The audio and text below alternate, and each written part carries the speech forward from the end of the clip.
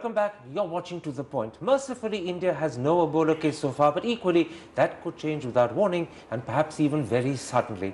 So how prepared is India for its first Ebola case when and if that happens? That's the key issue I shall pursue in an interview with the Health Minister, Dr. Harshvardhan. Dr. Harshvardhan, let me start with a simple question. It's a question that many Indians today want to hear the answer to. As Health Minister, are you confident that India is prepared for the first Ebola case whenever it happens? Yes, I am prepared to the best possible extent and I am thoroughly confident about it. And uh, it's not just an emotional thing that I say because the preparations that we have done, I think we have worked proactively on this front. We have been doing something much more than any other country in the world. Even today itself, the WHO doesn't recommend that we should screen people actively, aggressively and scientifically at the entry points into the countries. They recommend only at the exit point. We are doing it from the day one at 18 airports where there could be direct or indirect connection with those so Ebola affected countries. So your preparation is actually in advance of and ahead of WHO requirements? I, I think so. Which means that as health minister you're saying to the people of India that you are confident India is fully prepared. I, I, I, I, I'm saying that as health minister also, as a doctor also, as a technical man also, as a scientific person also. Let's then go through the different steps of preparation necessary and let's begin yes. with the steps you've taken to try and prevent Ebola entering the country. Now you've got temperature screening at yes. international airports, particularly yes. for passengers coming from Ebola affected countries. Yes. And I believe something like 25,000 people have already been screened. Yes. My question is, how effective is temperature screening as a way of keeping Ebola out of the country? You see, uh, please appreciate that it is not only these thermal scans. These thermal scans are basically to detect that if somebody is not reporting that he has fever, then there is a machine which detects. But there is a detailed evaluation form. If the you look at the green form, card given on planes. Yes, yes. From the point a person enters the airport, he gets into the plane, then he gets out of the plane, then he enters the airport, then he goes to the health officials at the airport, he goes to immigration. At every point, there is so much of thorough checking mechanism with detailed information system. That I appreciate, but the problem with temperature screening, which is the main facility that you set up to try and detect, is this. By the time an Ebola carrier has temperature, he or she is already infectious. So your temperature screening might identify a carrier, but the infection could have entered the country anyway. That's you the see, problem. You see, you see, the uh, number one, there is already a screening going on at the point when a person from an Ebola affected country, he leaves that country. We are taking double precaution, it is a double check, further check. And then even if there is a slightest doubt about the symptoms that we get to know while he is inside the aircraft itself, we isolate that patient we send him to the nearest lab that is also close to Except the airport. that if you get to know about symptoms on board the plane, then there's a great danger that everyone else on board that plane heading to India yes. is also potentially infected. So instead of one carrier, you could end up with a plane load full of carriers. You see, for that also, there, uh, uh, there, there is an advanced system. We have trained all our air uh, uh, craft crew also about it and there are further training mechanisms going but on. at the end of the day, Dr. Harshvardhan, aircraft crew are aircraft crew. They're not qualified medical professionals. You so see, whatever training you give them is bound to be inadequate. You're asking you see, them to handle an emergency, you see, but without the specialist knowledge. You see, you see, you see, uh, whatever is required at that time of at po that point of time, I think that's enough. You see, you cannot have a doctor at every place, but number one, such patients will thoroughly be taken care of at the exit points. We are in. Well, this is very interesting. You're saying that all Ebola affected countries, and there are six of them at least, yes. two of which have now been cleared, yes, yes, yes. have exit point screening. Yes. The problem is that only works if they're coming directly from that Ebola affected country to India. If they come via a third country, and many yes. people do, mm. there is no exit screening in that intermediate, intermediate country. No problem, sir. Even then, at all our 18 airports where there could be a direct flight or there could be an indirect flight. At every place there are multiple check systems. Can you not do something more? Can you not insist that every passenger boarding a plane coming to India at the last point of departure before India must be temperature screened, no matter where he's coming from, whether he's coming from Europe or America, because there's this danger that Ebola sufferers, if they're coming from an Ebola country, could come via a third country. So why not say at every at the last point of departure before India, see- no matter which country, see, be screened? We, we, our civil aviation department is in touch with number one, all the Indian airlines, all the international airlines, and all possible possibilities of either a direct connection or an indirect connection, which you are mentioning.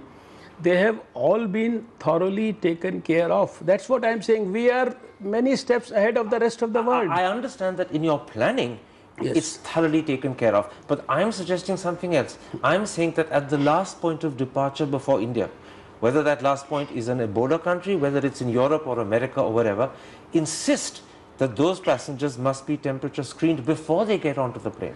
You see, this is something which is not under Dr. Harshvardhan's control. After all, the uh, rest of the countries of the world, they have their own guiding principles. You can't force WHO, WHO has a guiding principle for the rest of the world. And we, you see, we are doing our best on our side. We are taking, you see, WHO has officially, in a letter written to me two days back itself, where they keep reviewing everything every week. WHO on record has appreciated the efforts of India and they have said India is doing extremely well. Let me put one other thing to you. I grant that India is doing extremely well in terms of its theoretical planning. The problem is that at the end of the day, planning may never match up to the nature of the problem when it hits you. Yes. Have you considered the possibility of banning or barring all passengers from Ebola affected countries? Or do you think that's A, too draconian, and B, it can be circumvented because they'll come via second and third countries? You see, number one, uh, uh, that may not be fair scientifically also. We have discussed this issue, we have had deliberations with all the international players, we have uh, discussions with the technical people also. So this has been considered this has been, this was considered in the, even in the first meeting. uh, and I then think. ruled out on the grounds uh, it may not be fair. uh, uh, ruled out. And not only fair, but I think scientifically also that may not be right. required. Now, one stage of preventing Ebola entering the country is the screening. It's all the forms that people have to fill up when they board the plane, the details they have to give of their medical history, etc. Yes. There's a second problem. When you do the screening, there's a large number of people who are identified as suspects. Those suspects continue to be, in a sense, in quotes, threatened for a 22-day period. Do you have effective procedures and protocols to accurately and continuously monitor them during that 22-day period Yes. when they could end up possibly with Ebola? You see, I'll explain to you. There is a well-defined classification. Even amongst these patients who will have symptoms uh, suggesting direct or indirect something like maybe Ebola-like symptoms. Symptoms you know very well. It could be fever, it could be pain in abdomen, it could be headache, it could be pain in Diarrhea, muscle, vomiting, muscles, diarrhea, Sure. vomiting, nausea, pain in joints, and all those things. We have categories: low risk, mid risk or you can say moderate risk or high risk.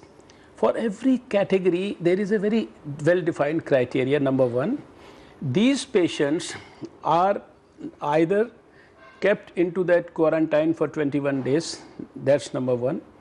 Then, the, if there is a moderate risk patient, where there is a definite history of some sort of even an in, even an indirect contact with somebody who had Ebola somewhere or something, we from the airport itself we isolate that patient, take him to a nearest hospital. Say suppose I talk about uh, Delhi itself, there is a very uh, Ram Manohar Lohia. and, and, and no Ram Manohar Lohia, there is a there is a quarantine uh, set up near the airport itself. He will be taken there. His blood sample will be uh, taken. He will be. Uh, it will be. The, the sample will be tested, and only when he is tested negative, then only he is le- le- let off from there. This is- Otherwise, This is very reassuring. One problem that occurs to me is that many of the symptoms of Ebola are similar to those of chikungunya Yes. or dengue. How do you ensure that you don't mistake one for the other? Or is that a risk you have to take anyway? You see, uh, you see, uh, on the basis of symptoms, and then the most important thing here is that he has had, uh, he has a history of contact in that country. He is traveling from that Ebola-affected country. Plus, then we are doing that test which is very specific for Ebola. There's a PCR test that you are doing in so your that labs. immediately identifies the Yes, patient yes, as they- Ebola they- rather than dengue or chikungunya. Yes, yes, obviously. Now, the newspapers have said, and I'm sure you'll confirm this for me in a moment's time, that starting the 27th of October, you will have a four-member rapid response team in each state. Yes. This will comprise a general physician, Yes. uh, epidemiologist, a microbiologist. microbiologist, and a nurse. Yes. The question is, how well trained are these people for the task of monitoring and checking a large number of people who are entering and are considered suspect for 22 days? How good is the training? You see, uh, let me explain this to you, this, uh, whatever you have interpreted from this newspaper report. Number one, we have world-class integrated surveillance system in the country right now, which is even endorsed by WHO, that's one thing. Then it is not only, this team is already existing at the state level and even at the district levels. They are already aware of the epidemiology, microbiology and the uh, role as a physician, but now we are giving them further training, further sensitization with reference to Ebola also. Absolutely. Further, further, further. It is not that they don't know it, But they the- have already been trained about it. I accept you're giving them further training. The Hindustan Times says you're going to give them training in terms of WHO protocols as well as the protocols of the American Center for Disease Control and Prevention. Yes, yes. But do you have enough time to give them training? Because this You training see, needs weeks. They, it's not an overnight they- process. and you could get your first No, Ebola no, no, case, God forbid, They- tomorrow. You see, it is not that they are number one ignorant people. They they have all last two months, three months. We have had communication, massive communication with every person in the health system about Ebola through all possible mechanisms. they've been- the training has been happening for two months. Now, yeah, you see, you, all possible uh, mechanisms that are required.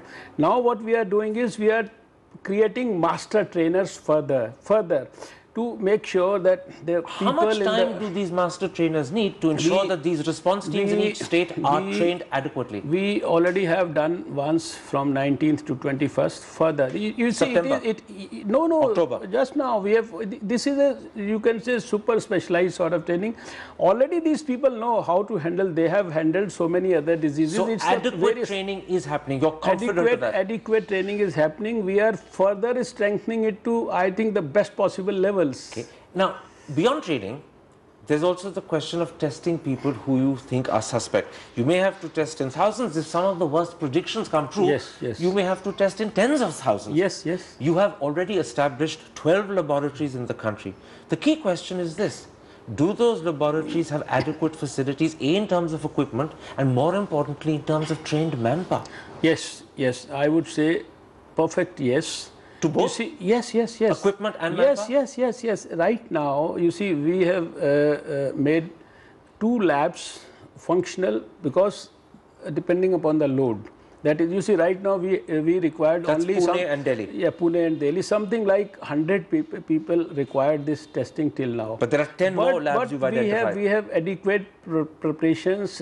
Any uh, with the press of a button, we can ask those ten la- labs also to join in So, so if the WTO's worst, so if the WTO's worst predictions come true, and I underline that they're predictions and they are worst case scenarios, that you need perhaps to be testing 10,000 people Yes. at a go. Yes. You are adequately equipped in terms I- of I- equipment and manpower. I, I, I think we have uh, had a lot of discussions on this. We have had ample preparations, and we are fully equipped to augment and strengthen, if at all there is a need for anything further also. Even up to the need of say 10,000 see, a week you, or something. you see that, that, that way technically it, it could be 125 crore Indians. You see that, that, that's not physically possible. Within- within but, proper but you see. Ebola is not something.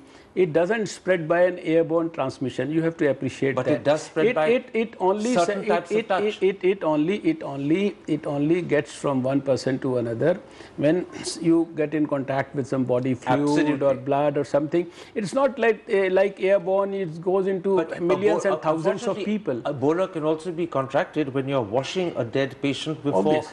Burial or cremation. Obviously, that that is a very vulnerable point for Indian society. That is that is why the uh, hand, there there are very definite guidelines for handling an Ebola patient or a suspected patient, which all our health Let- let- workers let me- at me- these facilities. Let me come to those guidelines in a moment's yes. time. Let me ask you one more question about screening and testing.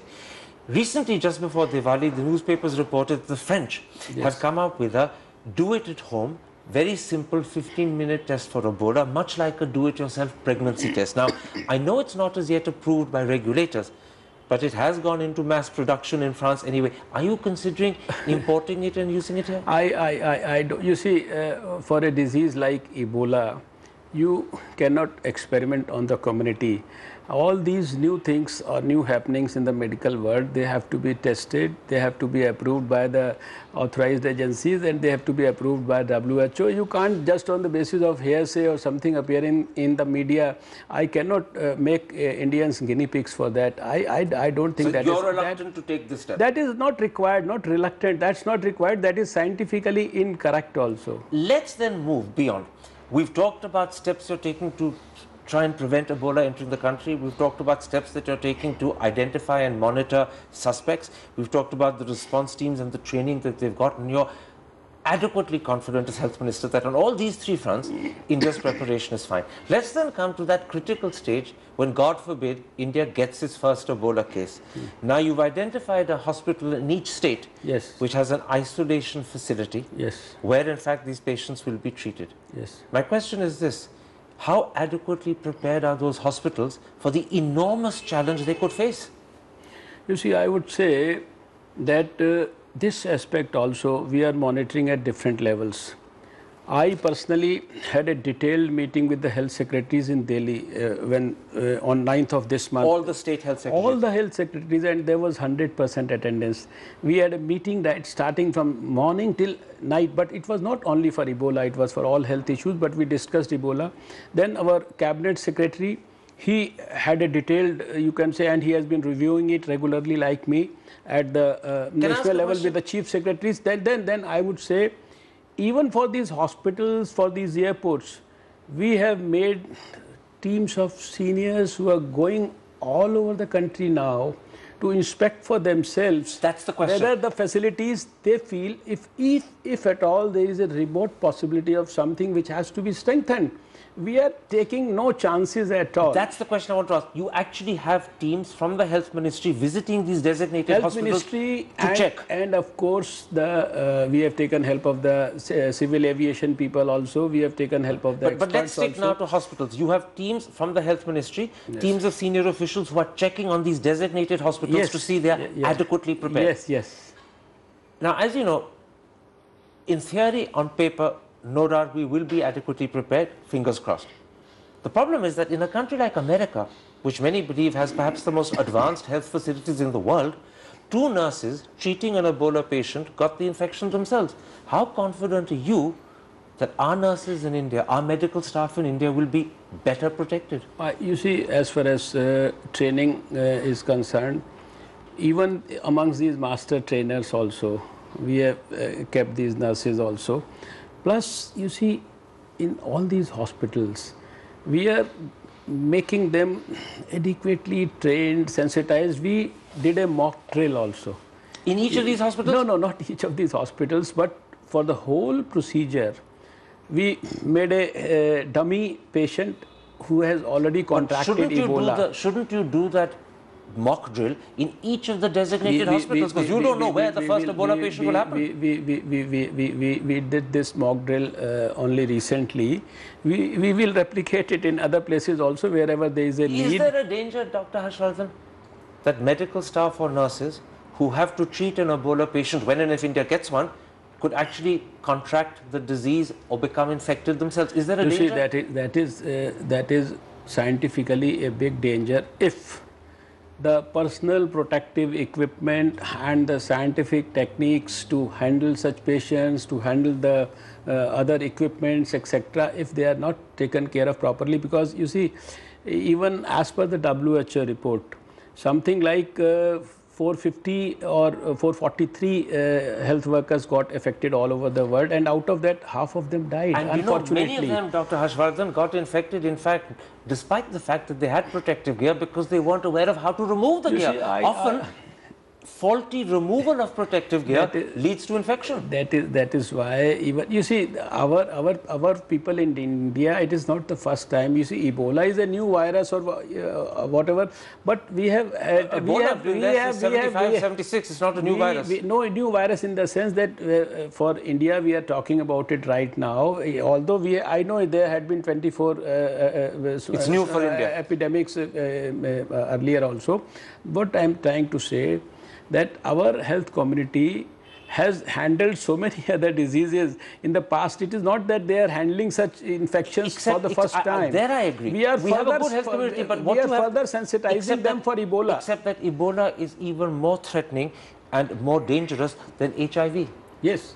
Right? Let me put this to you. Have you got top quality protective gear for your nurses and medical staff? And secondly, have you got it in sufficient numbers? You see, I would suggest, I will tell you that we already got 10,000 of them.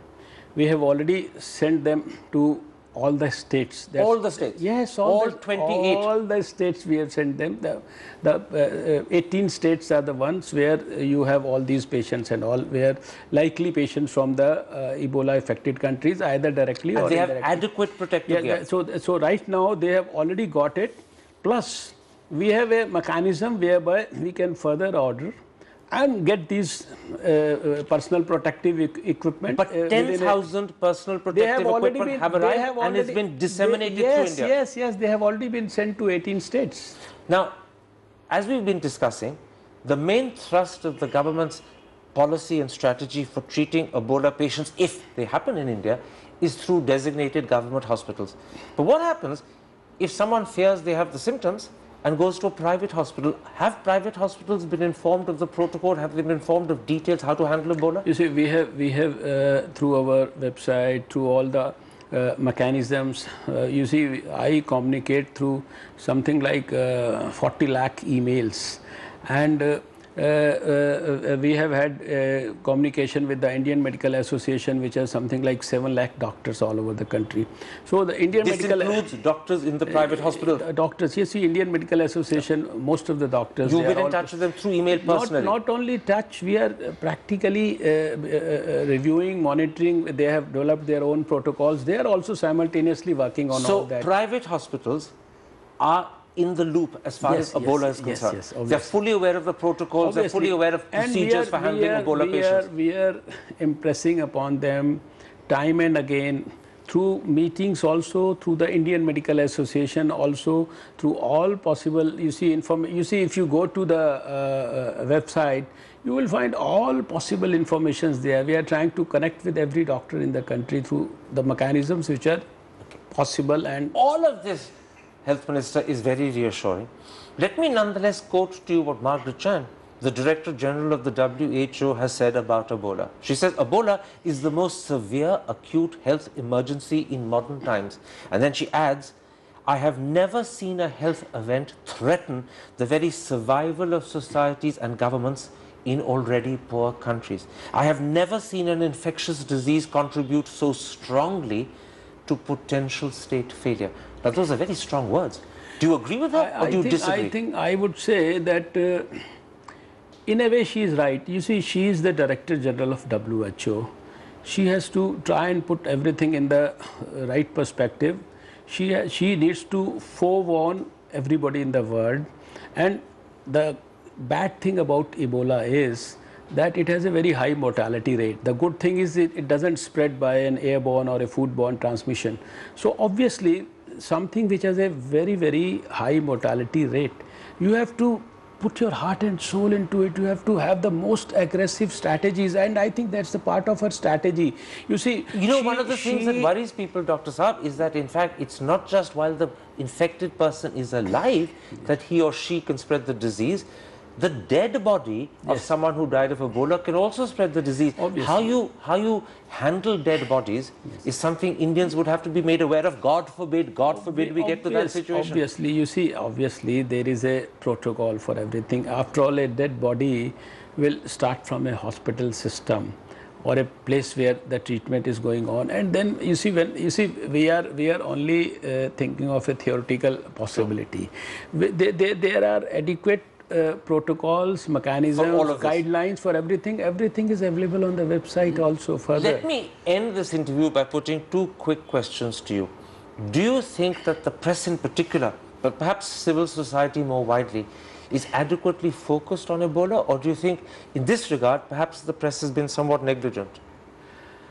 I would say that uh, we can probably uh, appeal to the media to give further good quality information on Ebola. The media can be can play a very uh, great role in educated educating the masses in our country. And, as uh, health minister, you are asking the media yes, today yes, to do yes, that. Yes, I, I, I would certainly. You see, uh, uh, I would, I would forewarn in the sense that we should not be going up to the extent of uh, creating unnecessary panic. There are many issues, in, in fact, where we said no, we don't have to do this. It will unnecessarily. What you're saying is panic. don't frighten, but please educate and make aware. Yes, that that's essential. That's essential. You therefore like more thoughtful, well-researched articles informing people of Ebola, Yes. informing people of how it's caught, Yes. informing people of steps that are being taken Yes. to control or to prevent. yes, yes. One last question. Recently it was reported that Baba Ramdev's organization claimed that they had an Ayurvedic cure for Ebola. Now you know and I know there are no cures for Ebola at all. Subsequently, Baba Ramdev's organization has denied the report or at least they've distanced themselves from it. But do you think the time has come for the government to strongly A, refute such claims and B, perhaps admonish people who try to mislead innocent people into believing there is a cure when there is no cure? You see, as health minister, as a man who is dealing with the uh, affairs related to health, and then now Ebola you are talking about, you see, I have lot of faith in the, uh, you can say, power of Ayurveda. But as on today, there is nothing like any known treatment for Ebola, at least on record. Which is why Baba Ramdev's organization's claim was, as you know and I know, rubbish. I- I- and worse still, it's misleading innocent people. I, I, I, I, I would say that uh, any claim by anybody on this account without any scientific backing, proved by international national standards and by the uh, scientific protocols, I would say that's not worth propagating in the country. It would create unnecessary confusion, might mislead the people. So, for the time being, if somebody has something, let it be subjected to the most powerful scientific scrutiny first. And then, if the scientific scrutiny passes something, then we talk about it uh, after approval from the World Health Organization. That is what I would suggest. Health Minister, that's perfectly clear. A pleasure talking to you. Thank you so much. Thank you.